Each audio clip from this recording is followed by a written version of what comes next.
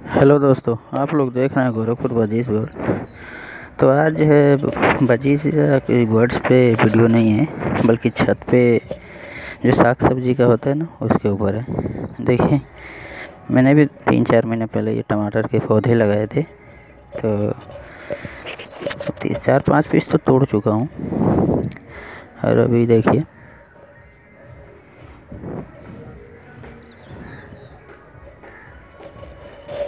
और दिखाता हूँ दूसरी साइड में।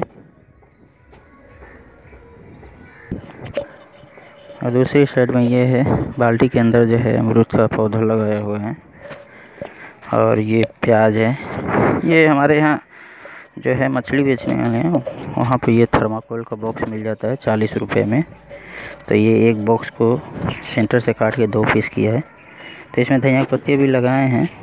और ये मिर्च का पेड़ है, ये प्याज है। और ये भी मिर्च है, ये भी। इसमें लहसुन और धनिया की पत्ती है, हरी पत्ती। और इसमें भी मिर्च है, बैगन है और टमाटर है। तो टमाटर आप देख सकते हैं।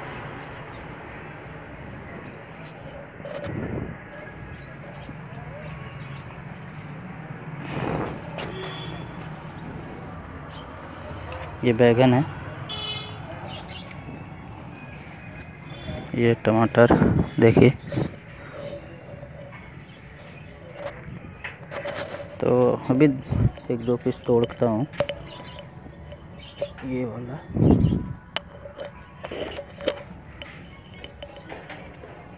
ये देख सकते हैं।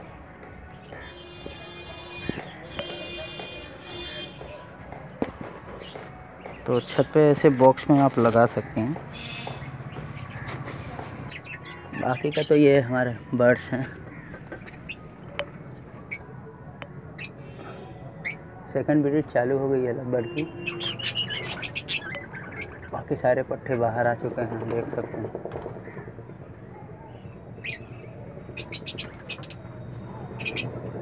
किसी दिन आप लोगों को प्रोग्रेस दिखाता हूँ। अभी डिस्टर्ब नहीं कर रहा हूँ, क्योंकि किसी में दो अंडे, किसी में तीन अंडे हैं तो इसलिए डिस्टर्ब नहीं कर रहा हूँ। जब सभी पाँच छः अंडे रख लें फारिग उसके बाद ही जो है, फिर आप लोगों को इसकी वीडियो दिखाते हैं, बना कर